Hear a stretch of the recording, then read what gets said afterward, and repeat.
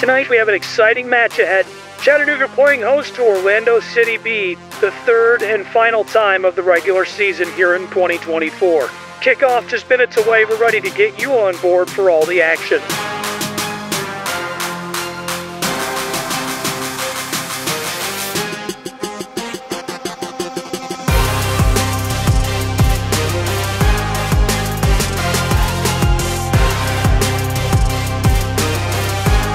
Now all the way to the captain. McGrath bends it far side. Chattanooga with the ball, looking inside, walking it onto the penalty area. Shot right side the score.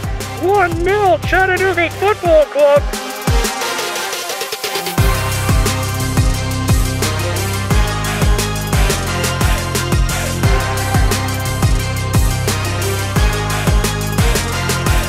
Congratulations to Chattanooga FC on a much needed win.